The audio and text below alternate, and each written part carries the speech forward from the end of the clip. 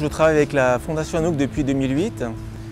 Et généralement, donc, on décore des hôpitaux ou euh, des maisons de retraite. Et ici, ce projet est un peu différent. Nous sommes dans le centre d'hébergement des, Tates, qui est le, plus grand de, ce genre euh, en Suisse. Ici sont hébergés des, requérants d'asile, des personnes qui sont en attente de, savoir si la Suisse va leur accorder l'asile ou non. Il y a énormément d'enfants, 150 mineurs euh, à peu près, des personnes seules, des femmes seules, qui arrivent souvent euh, cassées. Je suis russe d'origine et quand je suis venu en Suisse, je n'ai pas parlé français du tout.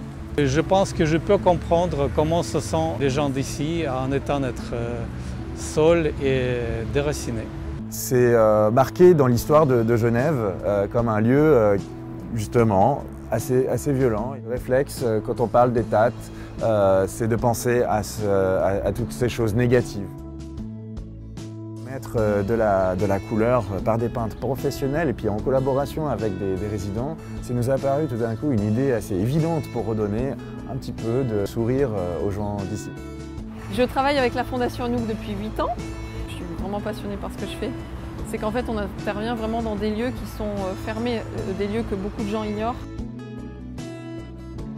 Ça consiste à apprêter le mur, donc qui est un travail assez conséquent, c'est-à-dire de peindre toutes, euh, toutes, les entrées avec euh, un après.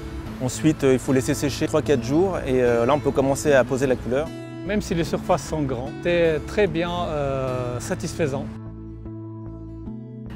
On a décliné euh, sur la thématique des cantons suisses, donc 12 cantons suisses avec 12 couleurs différentes.